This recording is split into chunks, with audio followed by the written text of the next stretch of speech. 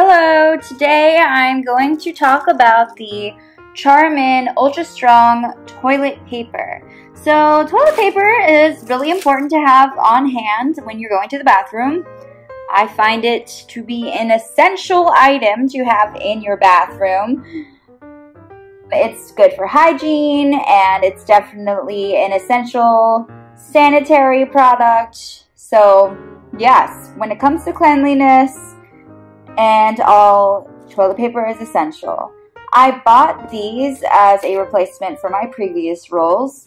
I had bought these once before and I found them to be okay. I like them.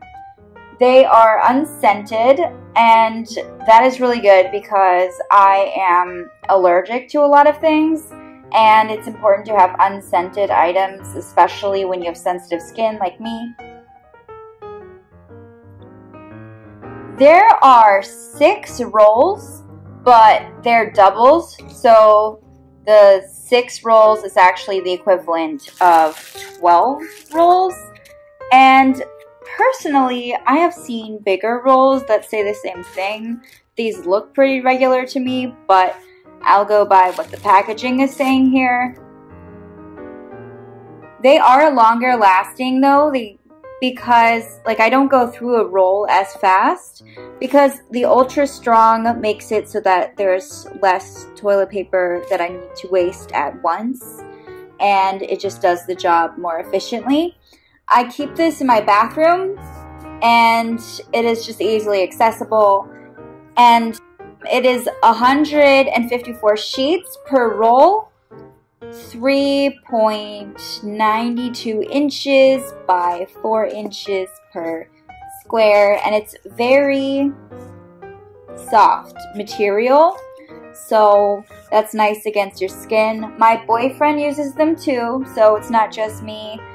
I just bought this like a week or two ago. I don't remember the exact day, but around that time. And six is a good size for us. But I mean, they do have different packaging sizes. So some of them you can get 12 at a time. And whatever works for you, family size, or just on it. You know, if you're one person, they have that too. So it's a great brand if you're shopping for an entire family. They are clog safe septic safe, they're unscented, and hypoallergenic, and the paper tube is recyclable. Yay for the environment. It's made in the USA. It's an American brand. It's made from domestic and imported materials.